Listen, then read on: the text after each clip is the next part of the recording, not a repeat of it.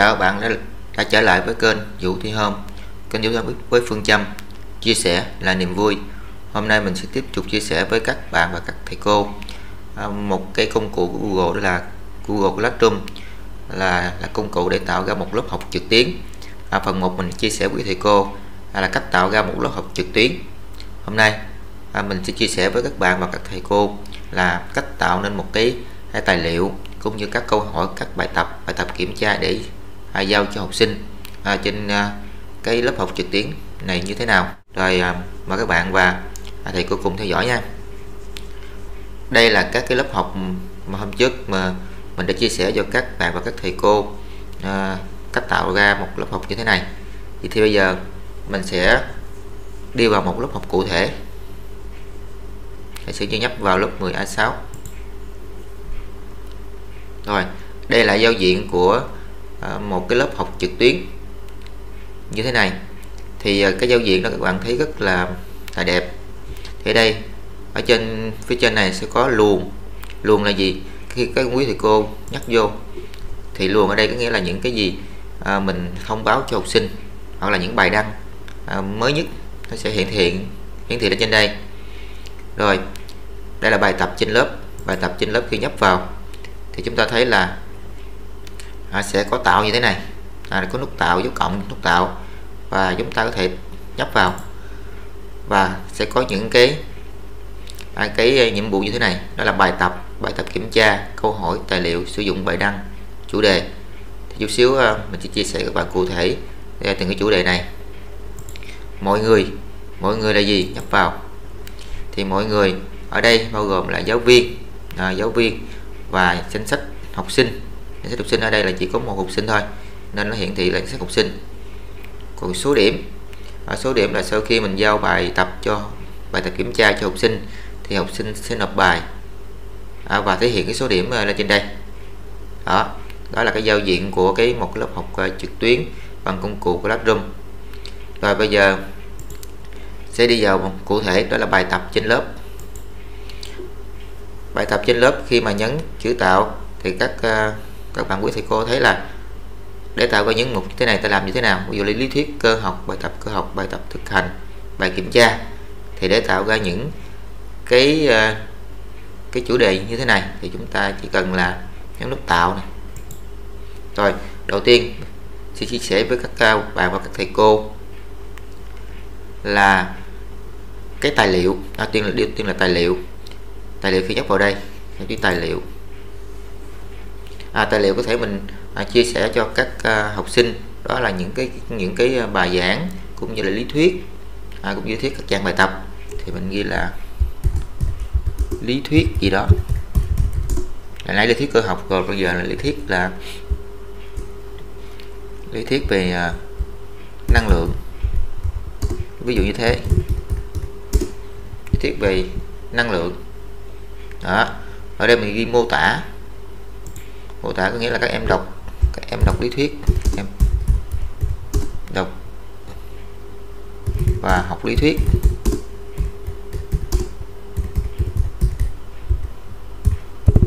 Đó. Rồi bây giờ mình sẽ giao nhiệm vụ cho học sinh thì ở đây có nút thêm, đây là nút kẹp là chính là cái tài liệu khi ta nhấn vào. Ở đây thì nó sẽ có là cái tài liệu chúng ta có thể là lưu trên Google Drive, hoặc là chúng ta, cái tài liệu chúng ta sẽ liên kết à, với một cái à, cái biên mẫu nào đó. Tiệp tiệp nghĩa là cái tài liệu chúng ta nằm ở trên nằm ở trên à, máy, máy tính của chúng ta hoặc là um, YouTube. À, tài liệu này là một bài giảng ở trên YouTube. Rồi bây giờ đây sẽ tạo cho biên dễ nhất là mình sẽ tạo ra một cái tiệp ở trên máy tính. Nhấn vào. Rồi chúng ta sẽ đến à, cái cái tài liệu mà mình muốn đưa cho học sinh ở trong cái ờ, ổ cứng của chúng ta. Rồi bây giờ mình sẽ đi đường dẫn đến cái tài liệu mình muốn gửi cho học sinh. Bây giờ đây là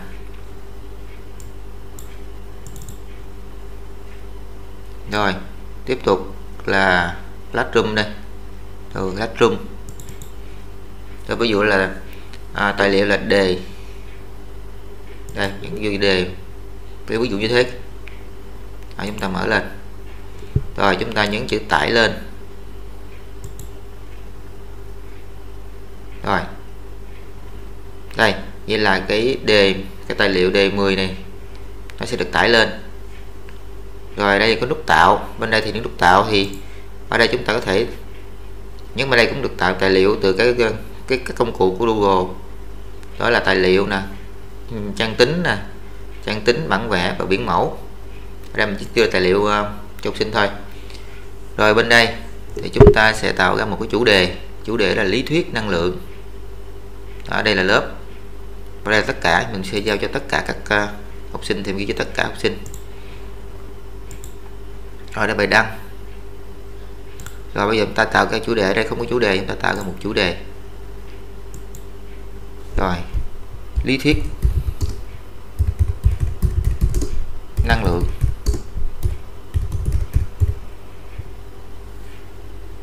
Đó, rồi rồi như là chúng ta đã tạo xong. Rồi chúng ta chỉ cần là những chữ đăng ở bên góc phải màn hình này. Là những chữ đăng. Rồi vậy là chúng ta thấy là cái phần lý thuyết năng lượng của chúng ta đã được gửi cho học sinh. Và học sinh là à, tại nhà chúng ta có thể thấy được cái cái lý thuyết năng lượng này. Đó là cái à, cách về lý thuyết. Rồi bây giờ chúng ta tiếp tục à, những chữ chữ tạo rồi cái, cái câu hỏi à, câu hỏi thì cũng làm tương tự. Đây chúng ta nhập vào câu hỏi thì cái giao diện cũng tương tự câu hỏi. Câu hỏi câu hỏi đây thì bên đây sẽ có cái là câu câu trả lời. À, câu trả lời thì có hai loại câu trả lời câu trả lời ngắn và câu trả lời nhiều lựa lựa chọn. Rồi hướng dẫn thì các bạn hướng dẫn là à, trả lời như thế nào? Rồi cũng là thêm à, cũng là thêm là những cái à, dành để giới thiệu cho các bạn. Rồi bên đây thì là có điểm do câu hỏi có điểm. Và ngày mình giao đến ngày nào. Và chủ đề là, là sẽ tạo cái chủ đề giống như hồi nãy. Và dưới này là học viên có thể trả lời câu là câu hỏi của nhau nè. Học viên có thể là điều chỉnh chỉnh sửa câu trả lời. Rồi đó là cái câu hỏi tương tự. Các bạn có thể tham khảo. Rồi bây giờ ở đây mình sẽ tạo cho các bạn một cái bài tập. À, bài tập này là cũng bài tập à, cho học sinh nhấn vào chữ bài tập à, nhiệm vụ là bài tập giao cho học sinh. Rồi như là bài tập năng lượng. Đây là lý thuyết năng lượng giờ là bài tập năng lượng. Sau khi học sinh đọc lý thuyết xong rồi nó sẽ có cái bài tập năng lượng. Kèm theo. Rồi các em làm từ câu mấy? Tôi mấy? Ví dụ là các em làm câu trắc nghiệm.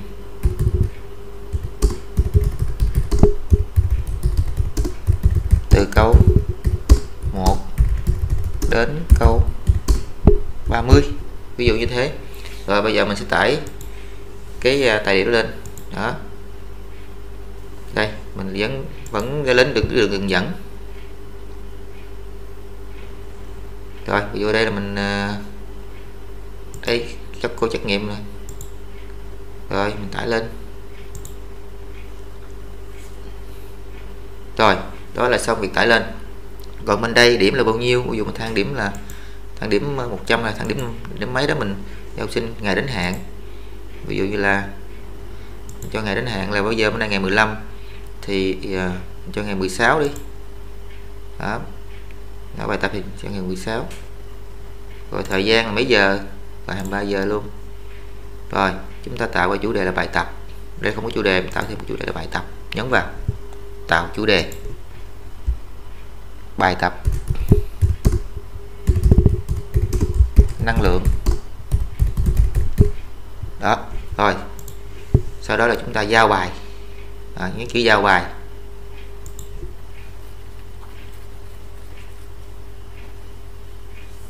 Rồi như là cái bài tập về năng lượng à, được gửi đến cho học sinh. Học sinh ở nhà chúng ta có thể nhận được cái bài tập này và học sinh nó làm.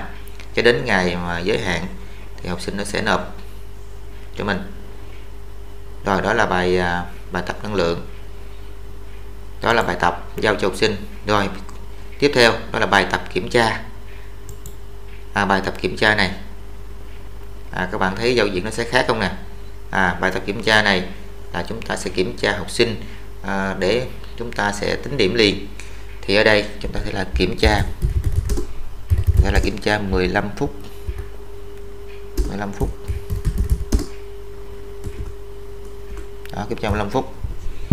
Rồi hướng dẫn là các em là như thế nào đó các em làm trắc nghiệm gì đó. Ở dưới này ta thấy là khác với cái cái phần là câu hỏi cũng như tài liệu và bài tập.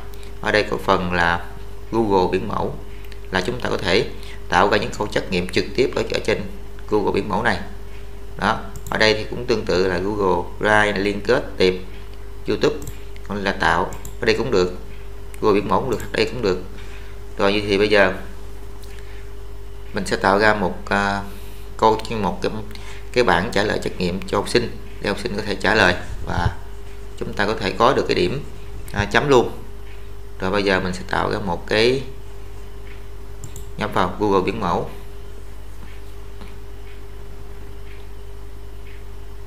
Rồi nó sẽ đưa chúng ta đến một cái uh, biển mẫu như thế này. Thì bây giờ chúng ta sẽ tạo ra một cái cái bảng trả lời, cho học sinh trả lời trắc nghiệm thì chúng ta ghi là phiếu trả lời trắc nghiệm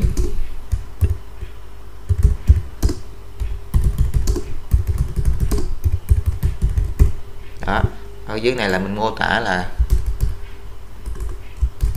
các em điền các thông tin đầy đủ. Mới làm. Rồi ở đây thì uh, chúng ta thấy là bây giờ bài phiếu cho trách nhiệm thì đọc có tên. Tên thì bây giờ chúng ta sẽ à, sẽ cái tên.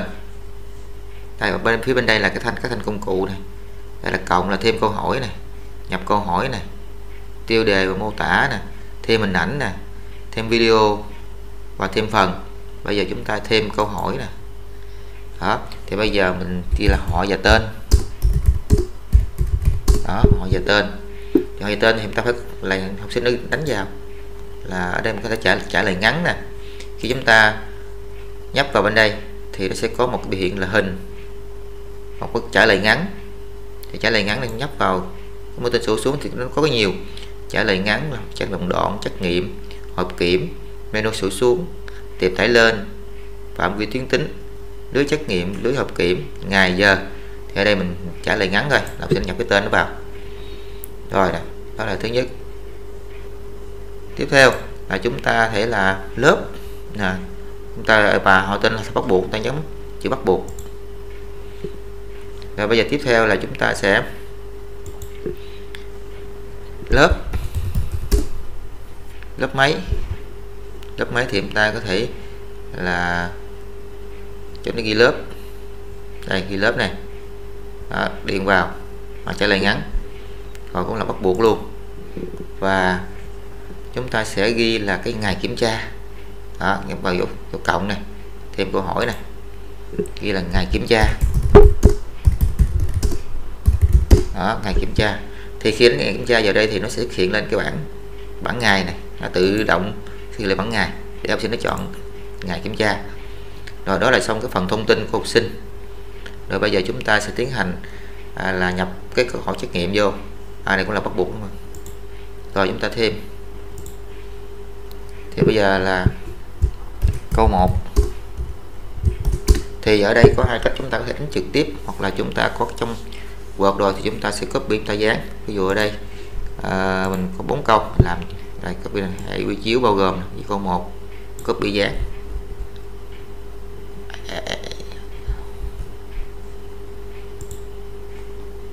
Copy dán. Rồi mình copy. Dán vô. Đó là hệ vị trí bao gồm câu A. Đó là chữ A. Thì cũng copy dán vô. Là uh, copy quy qua luôn. Đó cách này thì các bạn thấy là nó có thao tác thì nó hơi lâu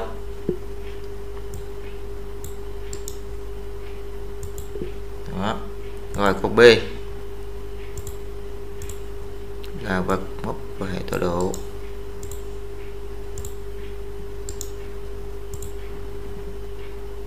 Đánh vô B thôi. Rồi, tiếp theo là của C. Đó là của C hay là của B?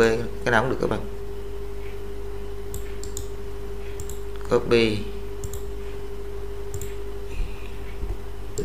dán rồi D.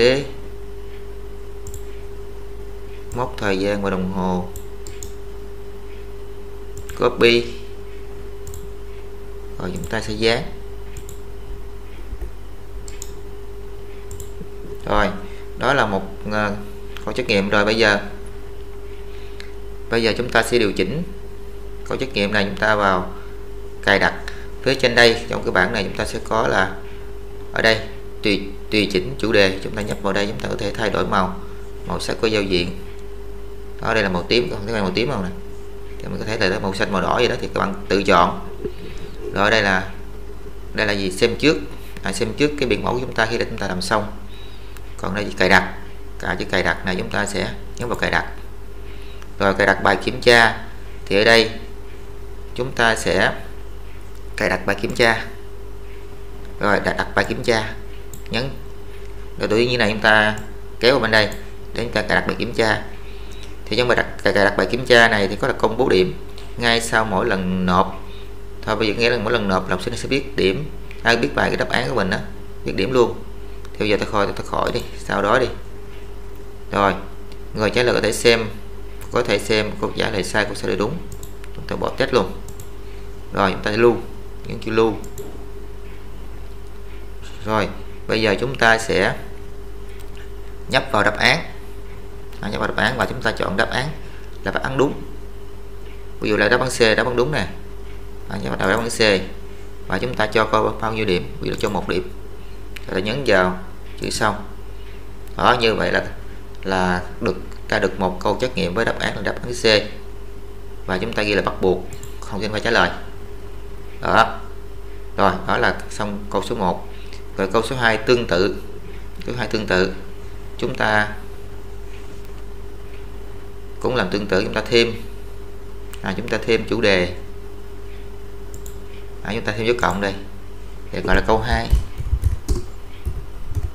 câu 2 có thể mình giờ, giờ mình chèn hình vào. Câu 2 ví dụ như mình copy. Ví dụ câu 2 là dùng búa này. Và copy. Nhắn vô. Đó. Rồi. Bây giờ mình cần cái hình. Là mình cần cái hình thì chúng ta sẽ có, nhấp bên đây sẽ có một cái bức tranh này chúng ta nhấp vào đây. Rồi, cái hình chúng ta sẽ đến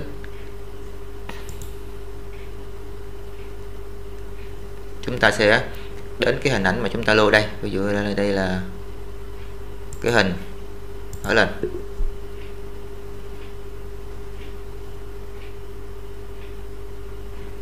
Đó. Đó. Ta có cái hình để chèn cái hình này vô. Rồi. Và bây giờ chúng ta cũng tương tự là ABC có hình thì là ABC đây mình chép uh, hết đi rồi mình chỉnh sao cho nó nhanh. Copy này. Đó, thì cái thao tác này chúng ta thấy là nó rất là lâu. A này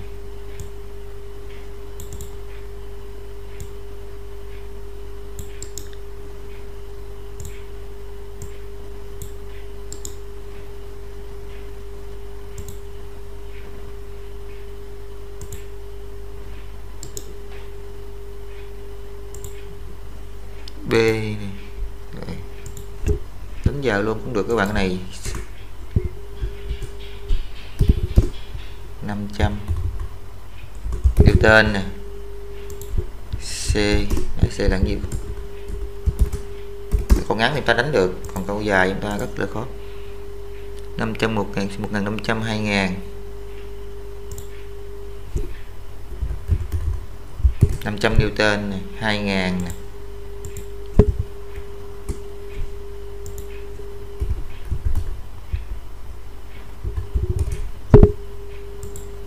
rồi như vậy chúng ta đã rồi chúng ta nhấn vào chữ đáp án này thì nó đáp án là một ngàn năm ngàn năm trăm, thì nhấn vào ngàn năm trăm. Và chúng ta sẽ cho điểm là một điểm. Và chúng ta nhấn chữ xong. Đó. Và cứ thế chúng ta có bao nhiêu câu trắc nghiệm thì chúng ta cứ làm tương tự như thế. Chúng ta copy ta ta dán qua để tạo ra một câu trắc nghiệm. Rồi chúng ta những nhấn trừ bắt buộc. Đó là xong một cái phiếu trả lời ở trên à, trang Google Classroom để xem à, cái form này các bạn nhấn vào cái hình con mắt để chúng ta xem trước. Rồi, nhấp vào. Đây là cái phiếu trả lời trách nhiệm mình là hoàn thành xong này địa chỉ email họ và tên lớp nè, ngày kiểm tra nè, câu 1 câu 2 mình đã mới giờ tạo nè. Đó các bạn thấy không nè, rất là đẹp vào số câu ở số điểm hiện cái bên. Và khi làm xong đây có mẫu chữ gửi đó. Rồi, đó là mình tạo xong rồi bây giờ chúng ta sẽ chia sẻ form này bằng cách nhấn vào à, chữ gửi nè.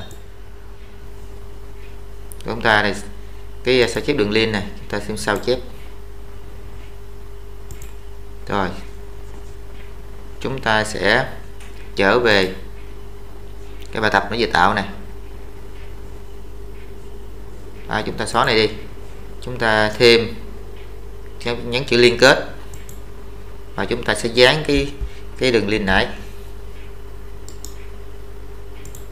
đó, và chúng ta thêm liên kết. Rồi lúc này cái phiếu trả lời trách nhiệm được à, được à, hiện lên hiện trên đây. Rồi bây giờ đó là cách tạo ra một cái phiếu trả lời trách nhiệm của một đề thi. Rồi ra đây thang điểm. Có thể thang điểm là 10 mình sẽ là thang điểm 10 rồi bây giờ ngày đến hạn bài kiểm tra thì có thể là 15 phút thì cho 30 phút là một tiếng để mà mà mình kiểm soát được học sinh. Ví dụ nó cho 30 phút. Nó hiện giờ là 11 giờ 29 nhưng 11 giờ 30 đi, mình cho là 12 giờ. Của ngày này nhưng mà 12 giờ. Thời gian là 12 giờ. Đó 12 giờ. Rồi. Rồi, tạo chủ đề. Không có chủ đề, tạo chủ đề đây là chủ đề là kiểm tra. 15 phút. Rồi, xong. Bây giờ ta nhấn chữ giao bài. Nhấn chữ giao bài.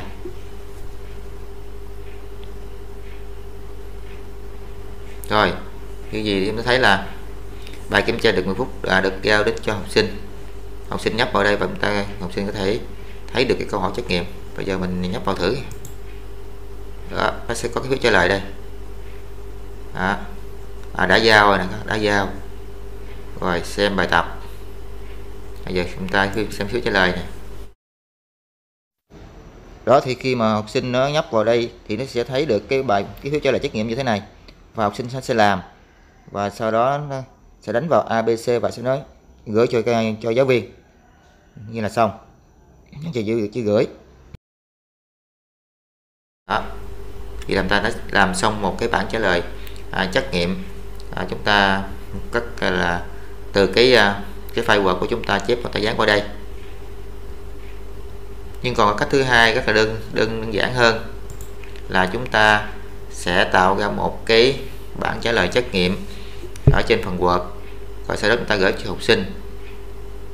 Sẽ gửi cho học sinh sau đó là chúng ta dùng cái phiếu trả lời à, là những câu hỏi 1 2 1 2 3 4 thì cho nó nhanh để mất không thời gian à, à, mình làm. Bây giờ mình sẽ tiến hành làm thử quý thầy cô một cái một bài kiểm tra nữa mà bản thân à, thấy rất là hay và rất là nhanh.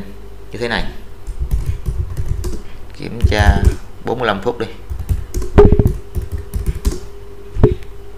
Rồi bây giờ mình à, sẽ sẽ chuyển cái bài này file Word như thế này các bạn. Mình chuyển thành file PDF cell sen này. File PDF rồi, mình sẽ chuyển sang một cái file PDF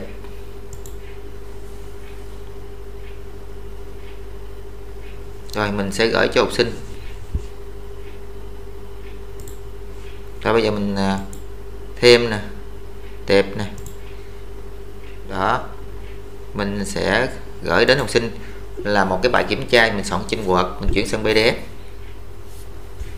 đây cái bút của trách nghiệm này tải lên. Rồi, vậy chúng ta được bốn à, bốn câu trắc nghiệm ta xóa này đi. Bốn câu trắc nghiệm vậy thì học sinh nó sẽ thấy được bốn câu trắc nghiệm này. Bây giờ cái phiếu làm bài, hồi nãy là mình làm bài mình chép từ cái file Word đó qua rất mất thời gian.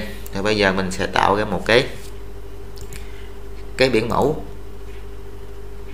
Nó đơn giản. Như thế này. Rồi bây giờ mình cũng làm phiếu trả lời trắc nghiệm.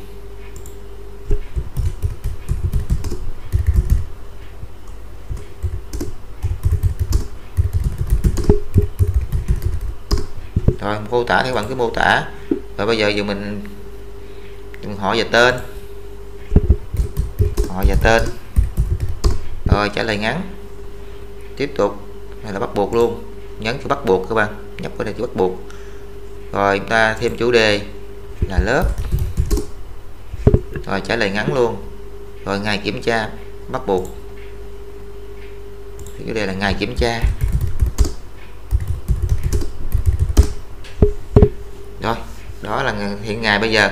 Câu hỏi này. Thì bây giờ mình sẽ làm tạo một câu hỏi này câu 1 đó mình chỉ ghi là câu 1 thôi. Đó, câu 1 thì cái câu 1 học sinh nó sẽ đọc cái đề và nó sẽ làm. Bây giờ mình làm là A nè, B nè, C nè, D này khi nhấn vào thì nó hiển thị. Rồi, đó. Vậy thì mình đã được một câu rất là ngắn gọn như thế này. Và cách này mình làm rất là gọi đây là một câu. Mà đề chúng đó là đề có bốn câu. Ví dụ đề có nhiều câu thì mình làm như thế nào? Bây giờ mình làm thêm câu 2 nè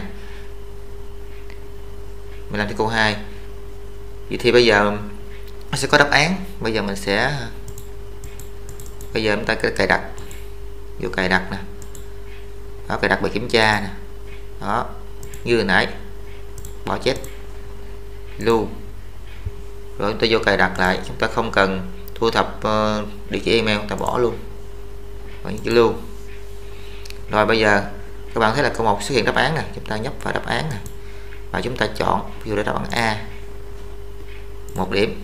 Rồi những chữ xong. Như là thế chúng ta được xong được câu 1 rất là mau. Bây giờ chúng ta làm câu 2 tương tự này. Chúng ta thấy ta nhấn thì phía sau chép này là, là, hai hai cái trang này. Gọi là sao chép nhấp vào. Đó nó sẽ ra cái, cái trang cũng giống như thế.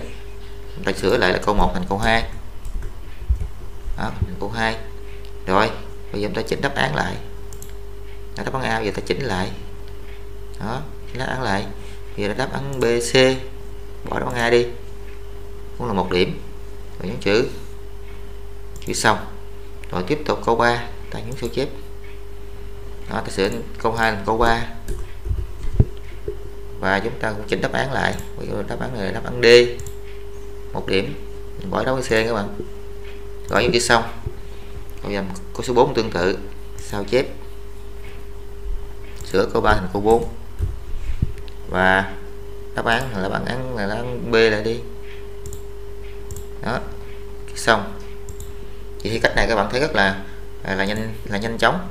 Mình tạo ra một cái phiếu trả lời một cách nhanh chóng học sinh. À, nói vượt coi trong cái đề bạn đó nhấn vào đây. Mất mình rất là tận dụng được thời gian. Giờ ta xem trước này.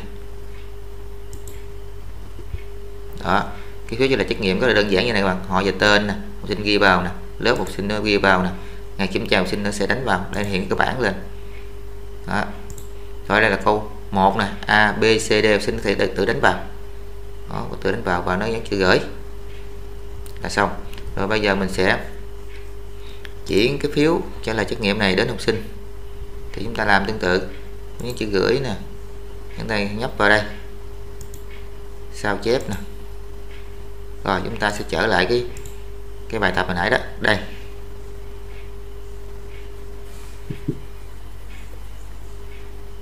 Ta bỏ này đi. Ta nhấn chữ thêm, ta liên kết. Rồi, ta ta dán vào. Rồi, ta thêm liên kết. Rồi, như vậy là cái bài kiểm tra 45 phút chúng ta sẽ làm làm dùm có hai file. File là đề kiểm tra file là phiếu trả lời trắc nghiệm. À, một cách rất là nhanh chóng bọn ta nhấn. Ở đây thì tương tự là điểm nè. Rồi thời ngày nè. Đó mình cũng cho ngày. Rồi cho thời gian ví dụ là 45 phút thì mình cho là 45 phút. Đó. 23 giờ. Mình cho là 23 giờ 5 45 ví dụ như thế rồi 45 phút. Rồi tạo chủ đề kiểm tra 45 phút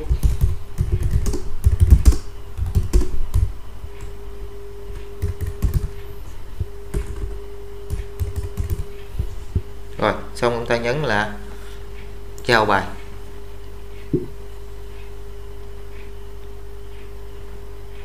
Rồi như vậy thì chúng ta thấy là cái bài kiểm tra 15 phút đã được uh, thông báo đến học sinh và học sinh thấy cái bài kiểm tra này và học sinh nhấp vô. Thì ta sẽ có hai hai cái cái file một file là đề trắc nghiệm viết dạng là PDF và thứ hai là phiếu trả lời học sinh làm xong và sẽ sẽ trả lời phiếu trả lời ở trên đây. Rồi như vậy thì uh, học sinh có thể làm à, và sẽ sẽ nộp nộp bài cho chúng ta. Thì để chúng ta thống kê thì chúng ta là cái bài biển mẫu này. À, chúng à, ta sẽ xem câu trả lời này học sinh nó có bao nhiêu câu trả lời thì chúng ta sẽ nhấp vào đây à, chọn cái biển mẫu đó. đó đây là biển mẫu này nhấp câu hỏi này câu trả lời. Thì học sinh có nó nộp bao nhiêu bài thì nó sẽ trên đây. Và chúng ta có thể để có sự thống kê. Có sự thống kê. Và ví dụ như là mình đã tạo cho bài kiểm tra học sinh rồi thì bây giờ cứ cho các bạn xem luôn nè cái à, cái bài nộp của học sinh.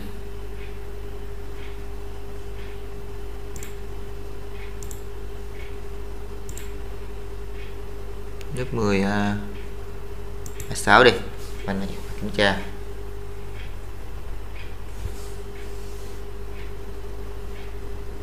rồi bây giờ mình vô Google biển Google Drive nè.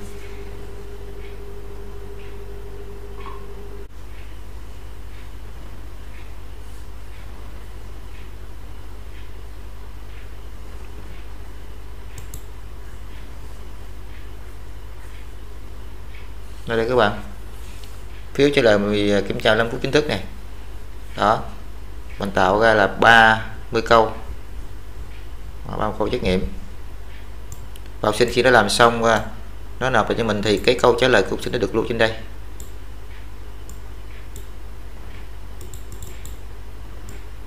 Đây, câu trả lời là 75 và nó có thống kê rất là rõ ràng luôn.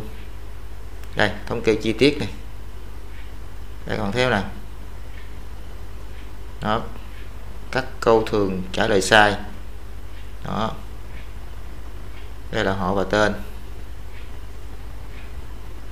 Đây là thống kê từng ờ, từng câu. Ví dụ câu 1 có 52 trên 75 câu 2 50 trên 75 câu 3 54 trên 75 rồi bây giờ chúng ta xem ta nhấp vào câu trả lời. Rồi bây giờ chúng ta xem nhấp vào à, cái góc màu xanh cộng này. Chúng ta xem trên trang là Excel. Đó, các bạn thấy không nè? Trang Excel chúng ta đã nhận được câu trả lời của học sinh này. Đó, cái ngày cái ngày thời gian học sinh nó nộp. Cái ngày học sinh nó nộp, bên đây là câu, số câu trả lời đúng. Đó, câu trả lời đúng ví dụ là 19 trên 30 23 trên 30 đó. đó, chúng ta có thể là suy điểm luôn. Ở đây là câu trả lời của học sinh này. Mình tắt bớt cái này nó nhiều quá.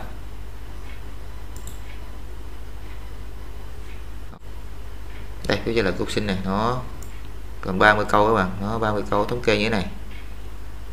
Đó, và đây là là số câu đúng đây là số câu đúng.